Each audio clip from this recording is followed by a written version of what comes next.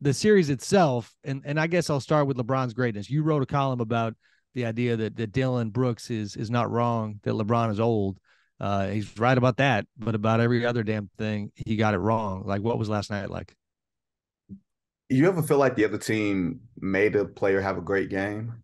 Oh, not sure, that yeah. the, not that the player was just singularly great, but the other team played so dumb it played into the great player's hands. He just happened to take it.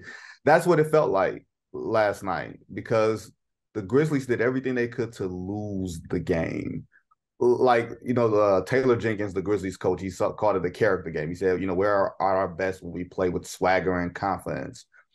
And some players played like that. You know, like Desmond Bane until he ran out of gas. Like Desmond Bane ran out of gas by the end of the night. But when he hit that three to put them up seven, we hadn't heard from LeBron throughout that game.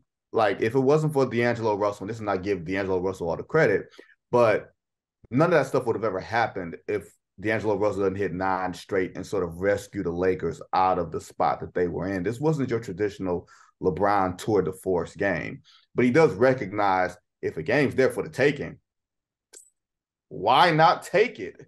And that's kind of I felt like what he did. And the Grizzlies are just put it like this: your Sacramento Kings are what we thought the Grizzlies would be this year, as far as the confidence, yeah. the moxie, being able yeah. to go toe to toe with an established team, and to not lose games just by being dumb. Sacramento has lost two games, but they haven't lost two games by being dumb.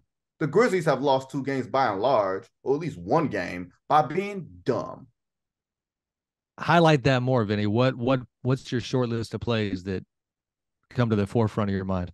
It you know, for me, it's gonna sound really silly, but the the D'Angelo Russell, the first three, for Jaren Jackson to be switched out on him, and Austin Reaves drives, and Jaren Jackson, who loves going for the shot block, just puts himself in no man's land, right?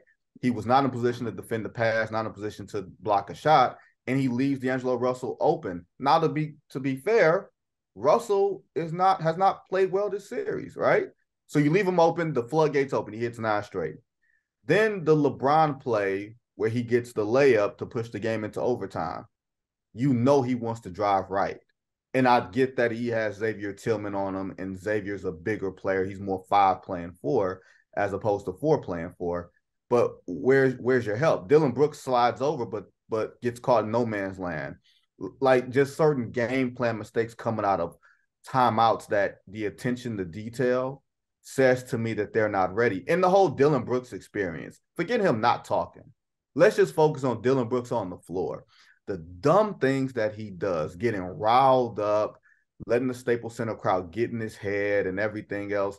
Like you can't have that level of distraction when you're trying to overcome huge losses on your personnel and you're defending you know, one of the game's best players in LeBron. That you can't let those things happen. So just those are just three things and a multitude of them, and some coaching mistakes too, because Luke Kennard wasn't on the floor when you needed three point shooting and you were nine of 42 from three, and your best three point shooter is on the bench for most of the game. Yeah. How about Dillon Brooks' just like general view of his offensive game? And like that is a season long, career long you said his version of, of, what you're talking offensive about. game. Does he have an offensive game? In his mind, he does, and that's the problem, right? I mean, like this idea that he is like a Patrick Beverley, a Draymond Green type mold. It's like those guys accept what they are offensively. He doesn't. Yeah, he's in a weird spot, or the Grizzlies are in a weird spot with him, right? Because Ja's going to be John. If you're going to be in the Ja Morant business, you need someone steady next to him, at least in my opinion. And Dillon Brooks is neither a great shooter nor a great athlete, but he is a great defender. You know, I, I did put him on one of my all defense teams, and I have no regrets about that. But the, the, the wildness and the, the fluctuations in how he plays, especially offensively, he takes some of that stuff away. When you take dumb shots and you force the cross matching on the other end, you're giving a Lakers team that's honestly not very good a lot of advantages that they wouldn't have otherwise. And if Dillon Brooks played a little bit smarter, and I know that's an oxymoron, Dillon Brooks playing smart, but if he took advantage of the opportunities in front of him as opposed to trying to dictate the game on his own terms, he'd be a lot better off. Like, hey, Jock, come over here for a DHO instead of like, eh, let me get mine right now. It's Dillon Brooks time, baby. That's what time it is. So he's second on the. I'm looking at it here. He's second on the team in this series in threes. That's a mistake. Uh, 22.2 percent. Only Desmond is shooting more, and and Ja's right below him.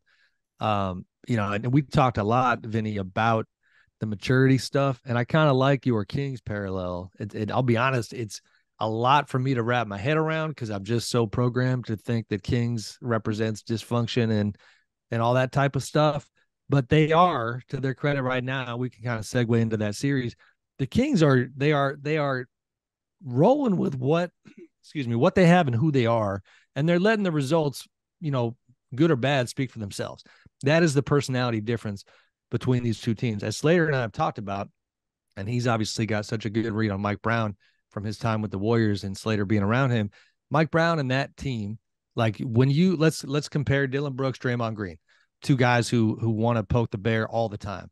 Mike Brown has told the Kings, do not engage with that man. Like stop talking to him. Don't do exactly what Dillon Brooks did to the Lakers. It doesn't mean they're going to win the series. Doesn't mean it's going to work. I do think that down the road, you talk about organizational culture, maturity, you know, sustainability, the length of your runway. It, it's a better formula than what the Grizzlies. The Grizzlies are just like we're going to burn hot and bright for as long as we can, and it ain't going to be that long. And and you know, Ja's going to try to jump 15 feet in the air and hope he doesn't break his leg.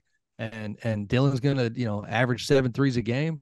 Um, it's just wild how they are attacking their thing, and, and yeah, the contrast to the Kings is is is pretty fascinating. Well, for me, I would respect the Grizzlies a lot more if they stay consistent with who they are. If you're going to be brash and confident and cocky and talk all types of I, can I cuss on here? Yeah, let it rip. talk all types of shit. Then be that way all the time, right? If you're down three one, you still gonna say, "Hey, we think we're the better team. We got two games left on our home floor." That sort of thing. Like, stay true to your character. Be who you are.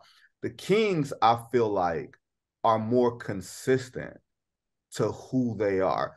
I don't think they're trying to. They don't engage with Draymond Green, but they don't shy away from him either.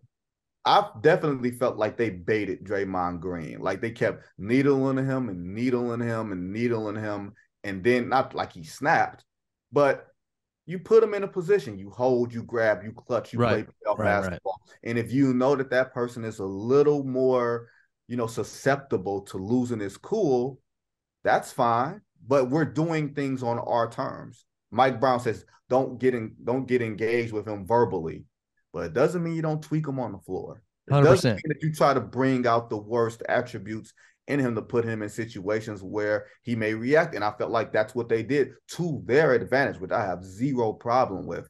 And even in game four, I know that there's a lot of people that's going to have a lot of quibbles with the way things maybe ended, but I felt like from the last possession, from the moment that they were down 10 to end the third quarter, they stayed the course and stayed true to who they who they were. We're going to play fast. We're going to play. We're going to play De'Aaron Fox. We're going to play Malik Monk. Like they have a confidence in who they are. For for there to be very little sweat equity in terms of playoff basketball, guys, they act like they've been here before. They're not straying from. You can have a bad game. Everybody has a bad game, but they don't seem like they're straying from their own ethos in this series. Like they're not going to beat themselves in that way. They may, like you said, they may lose the series, but they'll lose the series on their terms if they lose. Right. Right. Yeah. And they, the grit that you're talking about is there. When Draymond stands over Keegan Murray and I think tells him some version of get the hell up. And he was giving Keegan a hard time for staying on the ground pretty long early in that game four. Who's in his face? De'Aaron's in his face. Like De'Aaron actually stuck, you know, stuck up for his guy. And so when they need to, they're doing that. But but the chirping on the bench, they're keeping to a minimum. Uh, and listen, they they showed that fight in the fourth quarter. I texted a, a you know a buddy of mine who's a Kings fan. He hit me after the third quarter. Oh man, this is not good. They're down ten, and I wrote back like they're cooked. Like that's, that's a wrap, you know. And they they came out like gangbusters from there. You you hear Mike post game too. I mean, he was kind of critical of uh, of some of their um, sloppiness or over aggressiveness in transition and saying they were just driving into two guys and begging for fouls. They want them to play fast, but they need to be smarter with all that. There's also, again, what we were talking about with the Grizzlies earlier. I just think there's a level of accountability. Like even yeah. after a game like that, what must they clean up? And he's uh, coming out. He's telling the public, which means we know he's telling his team. Yeah, and that was very Sabonis specific that criticism, I think. Um, and meanwhile, we keep doing the contrast, but like, you know, Taylor Jenkins. I just if I hear him say one more time that that our swag is what got us here, like cool. Like I, I don't know, that's not exactly putting your guys in a position to win.